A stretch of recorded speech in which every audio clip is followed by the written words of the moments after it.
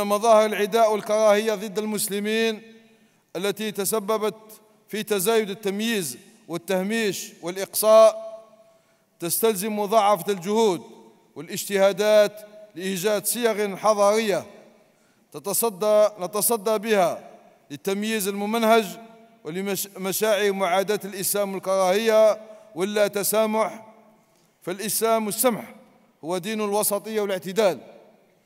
والمثل الإنسانية العليا وإنني في الأخير أضع تحت نظركم هذه المبادرة بآليات عملية لتعزيز التعاون والتضامن الإسلامي وهي أولاً إنشاء مركز بحث لتعزيز المناعة الفكرية إزاء التحولات الرقمية المتسارعة التي تواجهها المجتمعات الإسلامية ويكون هذا المركز ضمن جهاز الاتحاد والجزائر مستعدة لاحتضانه.